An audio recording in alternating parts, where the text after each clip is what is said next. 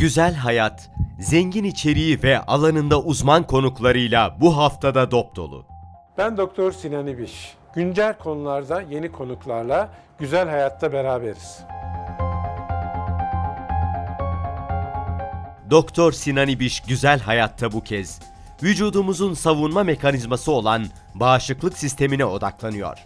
Uzman konuklar vücut direncimizi zayıflatan, güçlendiren etkenleri, kanserle mücadeledeki yeni umut immünoterapinin detaylarını, kök hücre tedavilerinin bağışıklıkla ilişkisini, gençlik vadeden PRP ve ozon uygulamalarının bağışıklık sistemine etkilerini canlı yayında paylaşıyor.